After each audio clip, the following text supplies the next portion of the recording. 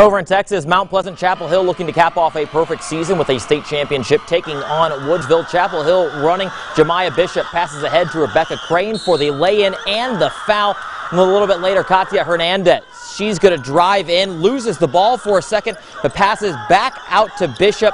Give her three on that one. She was named the game's MVP, and the Mustangs have, or Lady Devils have done it, going undefeated and winning the championship 55 to 46, the final.